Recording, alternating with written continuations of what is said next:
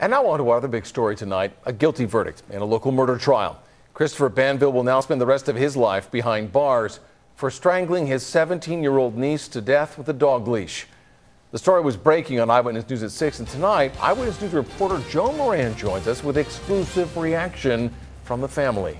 Steve, tonight we are indeed learning more about that young life taken. We are told that Krista Luciano loved collecting Barbie dolls, and she had big, bright plans for her future. And she just was very a bubbly, bubbly kid that was always happy. An aunt remembers the beauty of a girl just five months away from graduation day. Krista Luciano would never experience that proud moment. Seeing him and with no remorse on his face or nothing. You just felt nothing. Barbara Luciano is talking about Christopher Banville, the family member, uncle, and now convicted murderer. It had to be harder to digest knowing that you at least knew this guy. You may not have known him well, but the family did. Yeah, it's hard to believe that her own uncle would hurt her. I never realized the meaning of the word hate.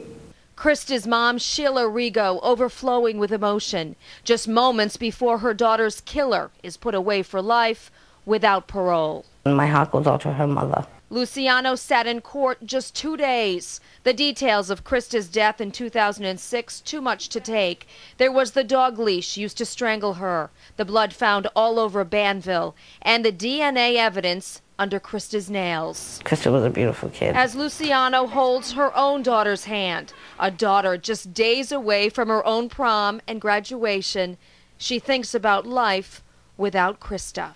You're never going to hear her call you on the phone ever again to tell you about her prom, about her marriage, her getting married, her having babies, nothing. You'll just never hear her voice again. Now, Banville did take the stand in his own defense, telling jurors that he found Krista's lifeless body and he tried to revive her.